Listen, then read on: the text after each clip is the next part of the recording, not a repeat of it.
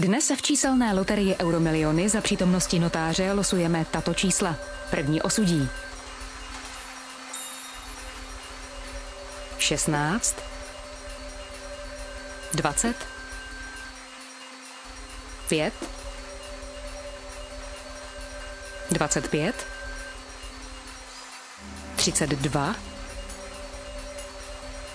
22 číslo 29.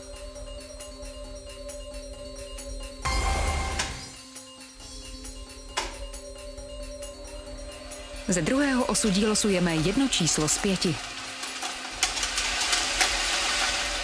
A je to číslo pět.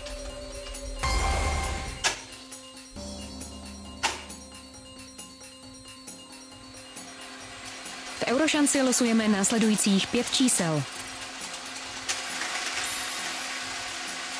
4, 9, 0, 8 a 4. Všem výhercům gratulujeme.